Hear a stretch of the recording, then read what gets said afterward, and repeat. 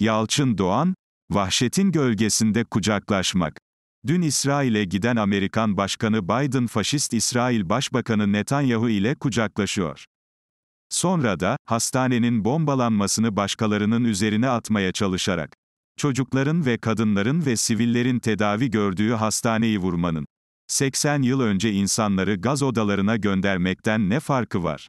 Üstelik, bugün Gazze'de hastane bombalayan, insanlık suçu işleyen İsrailliler 80 yıl önce o gaz odalarında ölenlerin torunları.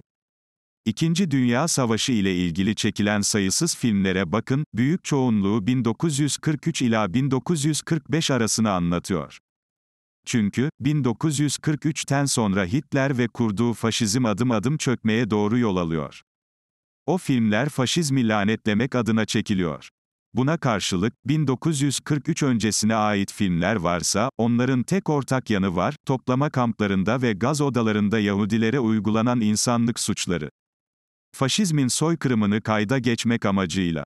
Bugün roller değişiyor. Gaz odalarında ölenlerin torunları bugün aynı faşist tavırla soykırıma imza atıyor. Başbakan ve bakan olarak, siyasetçi olarak, asker olarak. Japonya bile dünya rayından öyle çıkıyor ki, batıda İsrail'i desteklemeyen yok gibi. Birleşmiş Milletler Güvenlik Konseyi İsrail'in insanlık dışı saldırılarını görüşmek üzere yeniden toplanıyor.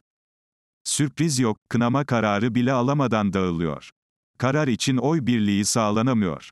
Kınamaya Amerika, Fransa, İngiltere itiraz ediyor. Hatta, Güvenlik Konseyi'nin geçici üyesi Japonya bile İsrail'den yana oy kullanıyor. O Japonya ki, İkinci Dünya Savaşı'nda Amerika'nın 1945'te Hiroşima ve Nagasaki'ye attığı atom bombalarıyla insanlığın en büyük felaketini yaşamış bir ülke. Başına tarihin kaydettiği en büyük insanlık suçu gelmiş bir ülke. Japonya bile. Kendisi gibi, insanlık suçuyla karşı karşıya kalan Filistin halkına dönüp, bakmıyor bile. Rusya-Ukrayna savaşında Rusya'ya her türlü yaptırımı gözü kapalı uygulayan ülkeler şimdi İsrail'i bağırlarına basmak için yarış halinde.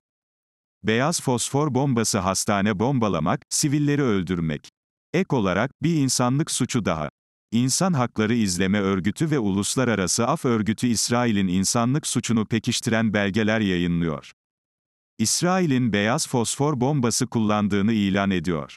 Zehirli bir gaz olan beyaz fosfor dumanı insanların boğularak ölmesine neden oluyor. Ciltte derin yanıklar açıyor. Ayrıca, patlayıcı etkisinden dolayı yangın çıkartıyor.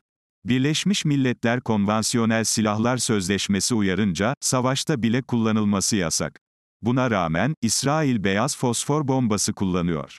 Birleşmiş Milletler Genel Sekreteri Antonio Guterres bunu resmen açıklıyor. Yine de, batıdan alkışlar İsrail'e.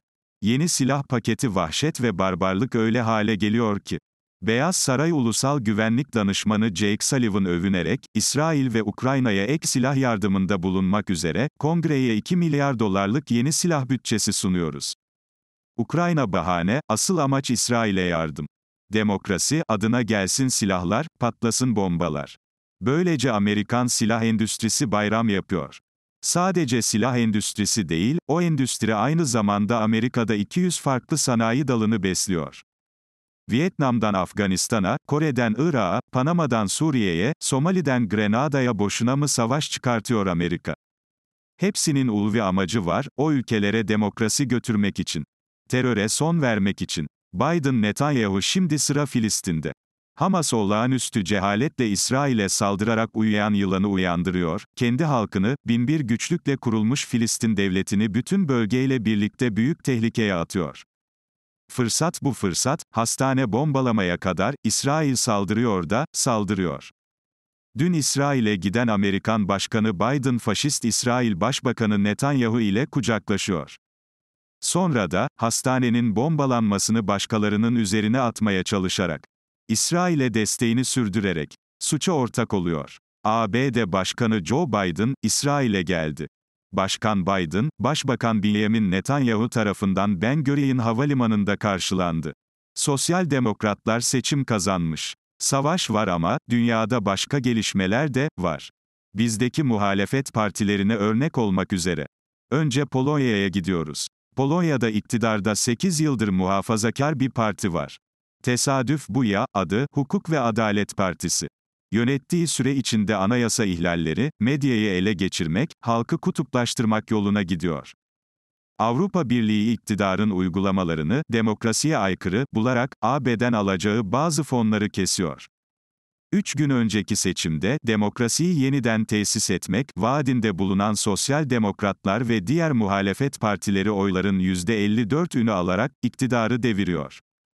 Hukuk ve Adalet Partisi %35 oyla birinci çıkmasına rağmen, mecliste çoğunluğu kaybediyor. Şimdi Yunanistan'a, Atina ve Selanik'e gidiyoruz. Üç gün önce iki kentte de, belediye başkanlığı seçimi var. Atina ve Selanik belediye başkanlıklarını sosyal demokrat PASOK adayları kazanıyor. İktidar yenilgiye uğruyor, üstelik Atina'da iktidarın adayı başbakanın yeğeni ama, kaybediyor. PASOK'a radikal sol ittifak destek veriyor. Bizim muhalefet sayesinde biz yıllardır unuttuk ama, iktidarlar seçim kaybedebiliyor. Hatta, sosyal demokratlar seçim kazanabiliyor.